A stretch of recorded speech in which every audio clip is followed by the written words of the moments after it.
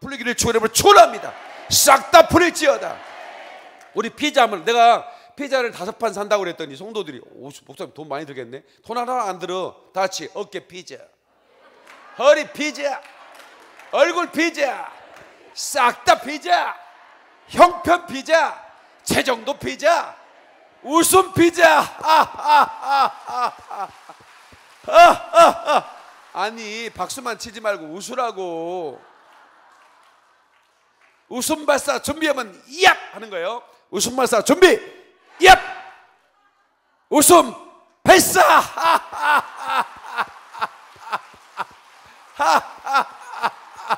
잠깐 잠깐 잠깐.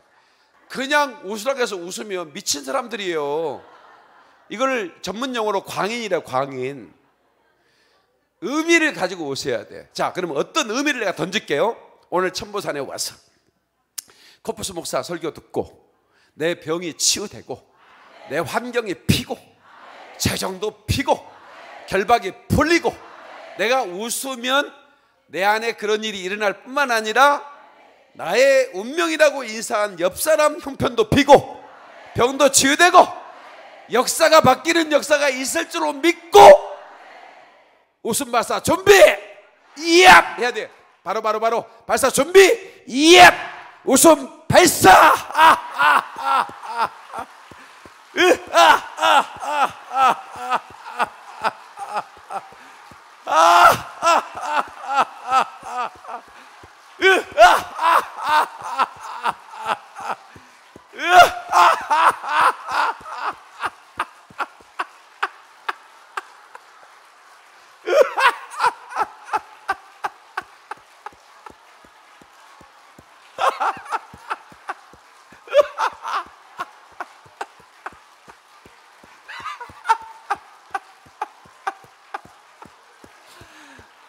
패스! 박수 박수.